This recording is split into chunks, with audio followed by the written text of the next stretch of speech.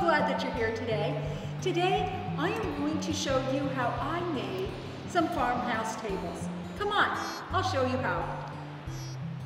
I made three 12-foot tables for when we have parties in the barn, we will have 36 feet of table space to seat our guests.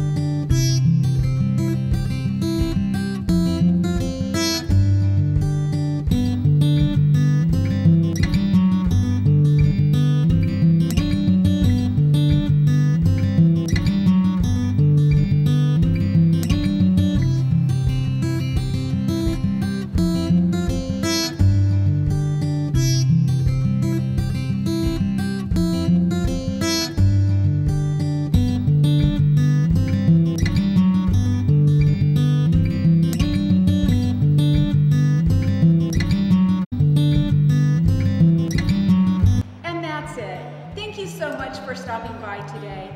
I always enjoy our time together.